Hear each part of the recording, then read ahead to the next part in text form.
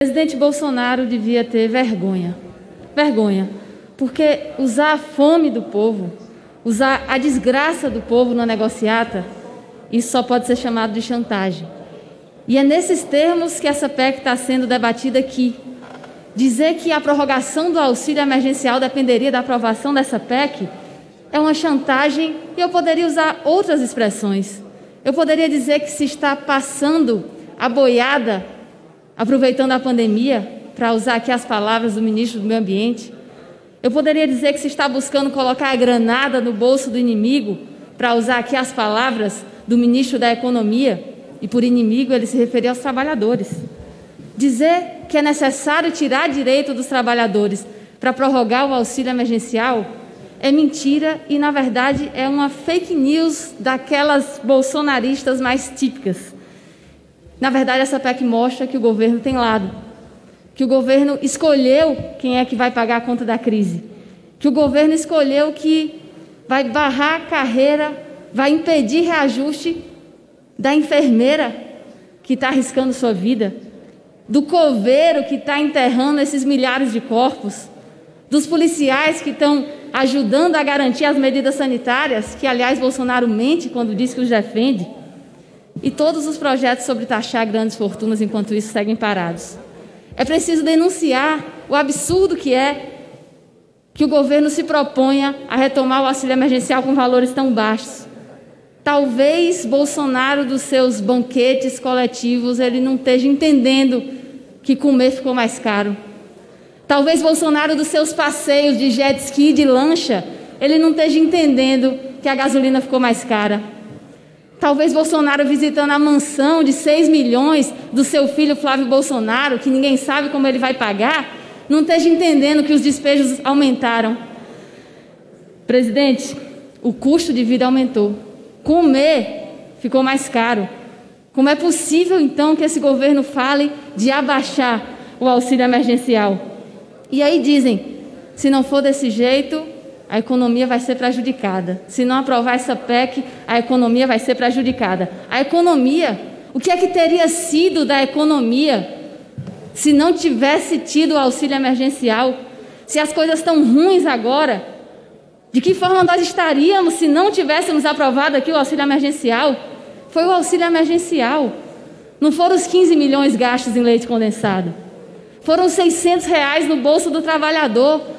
Não foram os 2 milhões gastos em chiclete que fizeram com que, com a política neoliberal do governo e a pandemia, a gente ainda chegasse onde chegou agora, não num estado muito ainda mais deplorável. Então, presidente, a nossa luta aqui hoje é para barrar quem quer drenar o dinheiro público direto para os bancos. É para defender que seja restabelecido um auxílio emergencial que traga um mínimo de dignidade para a classe trabalhadora que está vivendo um momento tão tenebroso. Presidente, eu queria ainda usar meu tempo, pela liderança do PT, para comentar algo a que nós assistimos nessa semana. Nós vimos o início da correção de uma farsa, dessa verdadeira farsa que foram as condenações contra o presidente Lula. Desde 2016, 2016, que a defesa de Lula denunciava, que não cabia a vara de Curitiba julgar o presidente. E tem gente tratando isso como se fosse um mero detalhe processual, um, um tecnicismo, uma formalidade, mas longe disso. A vara de Curitiba foi escolhida, foi para lá que os processos de Lula foram direcionados, porque era ali que tinha um juiz disposto, era ali que tinha um juiz vendido, que ia garantir que não houvesse outro resultado possível para aqueles processos, para aqueles julgamentos. E o problema da justiça, quando ela tarda, é que os danos são irreversíveis. Lula passou mais de 500 dias privado daquilo que é a coisa mais cara que um ser humano pode ter, que é a liberdade. O irmão de Lula morreu quando ele estava preso e ele não pôde enterrar. O neto de Lula morreu quando ele estava preso, uma criança, e eles não puderam passar os últimos dias juntos, nem Lula pôde passar o luto com sua família em seguida. Mas hoje, sobre isso, o presidente Lula falou na sua coletiva. E ele disse: A dor que eu sinto não é nada diante da dor que sofrem as pessoas que viram seus entes queridos morrerem e sequer puderam se despedir deles. é porque mais importante do que falar da indignidade que foi cometida contra o presidente Lula é também resgatar e entender qual foi o dano para o povo brasileiro. O povo brasileiro não teve direito a eleições livres. O povo brasileiro foi proibido de votar no candidato que em todas as pesquisas aparecia em primeiro lugar e que muito provavelmente venceria as eleições. Mas qual foi o resultado disso?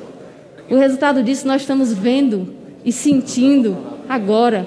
O resultado disso é uma gestão federal que empurra o povo brasileiro para um abismo, entreguista, que tem ódio a pobres. Hoje, nós não temos nem emprego nem auxílio emergencial. Hoje são mais de 265 mil brasileiros e brasileiros mortos por causa do presidente genocida. Do genocida e dos seus aliados, dos seus seguidores, como é o caso do prefeito de Natal, Álvaro Dias, do PSDB, que agora há pouco declarou que nós vencemos a pandemia e que estamos agora numa situação confortável. Eu não sei em que planeta ele vive, mas essas vidas, presidente, elas não voltam.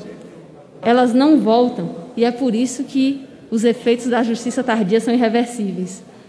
Mas antes tarde do que mais tarde, é, e em breve, o STF vai se pronunciar sobre o que, que significou que fosse o juiz Sérgio Moro, o ex-juiz, aquele a julgar os processos de Lula. Não é possível que agora, quando o Brasil inteiro sabe que esse juiz corrupto atuou como verdadeiro chefe da acusação, não é possível que não haja o reconhecimento dessa suspeição, da ilegalidade, da ilegitimidade das condenações contra o presidente Lula, não só pela incompetência da vara, mas pela atuação criminosa que esse ex-juiz teve na, conduta, na condução dos processos. E é por isso que, independente do resultado desses julgamentos, a história vai saber. A história vai saber que um homem inocente, que foi o maior presidente que esse país já teve, que hoje nos fez lembrar o que é um estadista, e que saudades, né?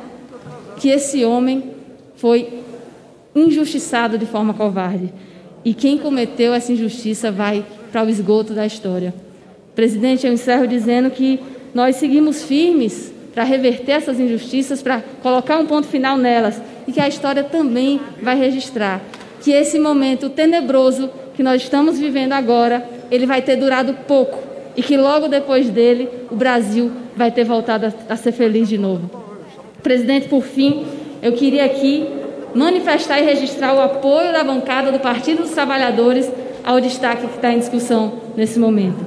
É necessário suprimir do texto dessa PEC, dessa maldita PEC, que os servidores e os empregados públicos, civis e militares, sejam tenham seus direitos retirados.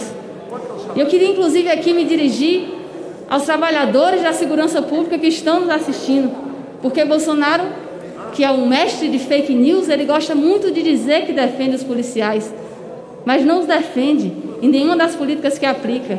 Quando arma a população, quando quer armar a sociedade civil, são os policiais que ficam mais expostos. São os policiais que também são mais expostos com esse discurso genocida de que é para sair atirando. Afinal, não é Bolsonaro que está na rua. E também agora nessa PEC, Bolsonaro mostra o seu desapreço por esse setor, que também vai ser afetado, que também está sendo afetado por congelamento de progressões, por congelamento de salários. Então, presidente, a bancada do PT vota em apoio ao destaque apresentado, porque nós sabemos que é um absurdo que no meio de uma pandemia, quando os serviços públicos mais estão sendo demandados, sejam de saúde, sejam de educação, sejam de segurança, nós coloquemos no peso da classe trabalhadora a culpa por essa crise, que na verdade é agravada dia após dia por a política neoliberal inútil que esse governo faz implementar. Obrigada, presidente.